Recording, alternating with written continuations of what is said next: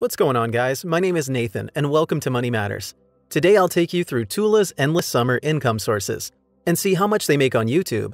Make sure to stick around to the end because I'll tell you how much they make per hour.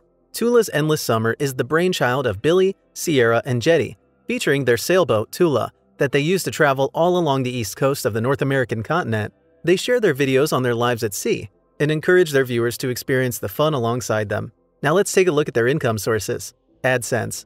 Checking their Social Blade metrics shows that they have an average daily viewership of 20,375. The channel earns a CPM between 5 and $8, since it's based in the US, according to Looksy, while Income Stream Builders puts the CPM at $3.47 due to its lifestyle-based content. Adding the highest and lowest rates and then averaging the result gives a daily total of $5.37. To get their AdSense revenue, divide their daily views by 1,000, then multiply the result by the average CPM which gives a total of $117 daily. YouTube then takes 45% of this amount, leaving them with $64 daily, 1,928 monthly, and 23,136 annually. Patreon. They have 259 patrons on their Patreon, each paying a subscription of $15 monthly.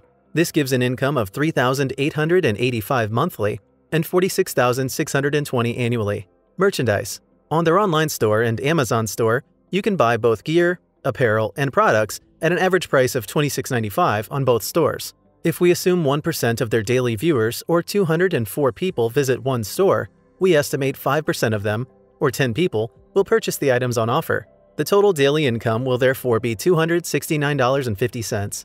If 20% of this amount is the profit, then they'll take home $53.90 daily, 1,617 monthly, and 19,404 annually and the total income from the two stores will be 38,808 per year. Affiliate marketing. They also have affiliate deals with brands such as Waterlust, where their viewers can shop for items at discounted rates. We will conservatively estimate that they earn 1,500 monthly and 18,000 a year. Adding their annual incomes gives them 126,564 without expenses. Expenses. Most expenses go towards insurance, health, and food costs, as well as boat repairs. If these account for 20% of their annual income, or 25,313, this leaves a taxable income of 101,251. Taxes.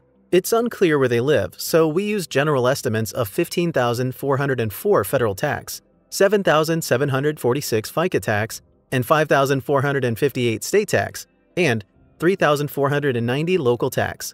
This leaves them with a take-home pay of 69,154. Now for the moment of truth. How much does Tula's Endless Summer make per hour?